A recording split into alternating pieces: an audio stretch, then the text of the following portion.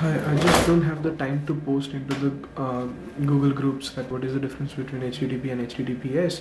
So I thought of making this video and explain you what is the difference between HTTP and HTTPS. See, both are protocols. HTTP is a protocol, HTTPS is protocol working in the secured layer. So what are the differences? Basically, you can have one website running at HTTP and you can have another website running at HTTPS. So technically, both the domains or, or both the URLs that you specify can act completely different. Like because it's going to a different public underscore HTML folder and it can be completely different files.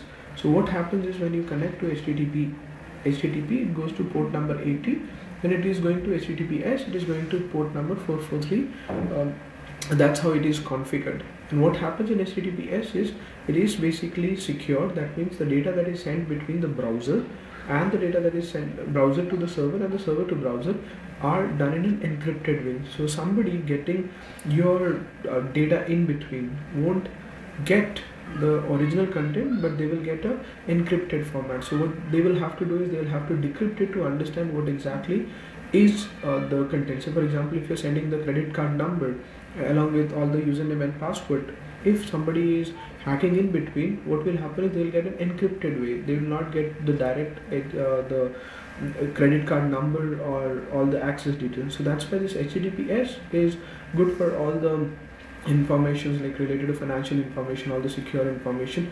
It goes under secure. So browser has its own setting which actually decodes uh, these um, encrypted way using the RSA uh, script. But I'm not interested into uh, I'm not going to talk about that. What I'm going to talk about is uh, this HTTPS and HTTP that how basically these things are different. So I've already told you that both the things are different. So if it is if your website is basically not configured under 443 port number then your HTTPS won't work.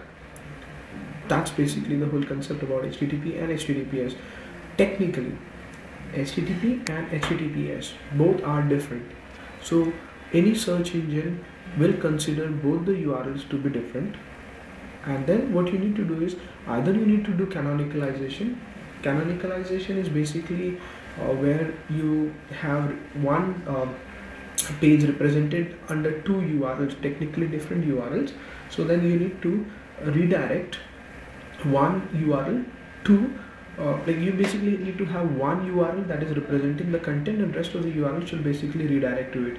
But in some of the cases that may not be a possibility. In that case what you basically need to do is you need to stop such pages from getting uh, crawled by Google or any other search engine just to avoid this duplicate content problem.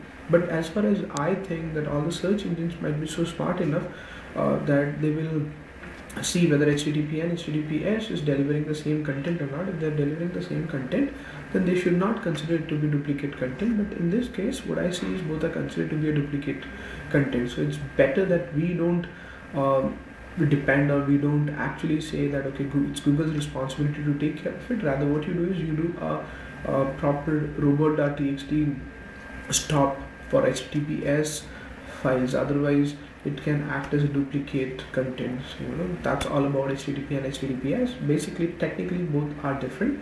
So either you need to do the canonicalization or you need to stop it with the robots.txt that's all about http and https thank you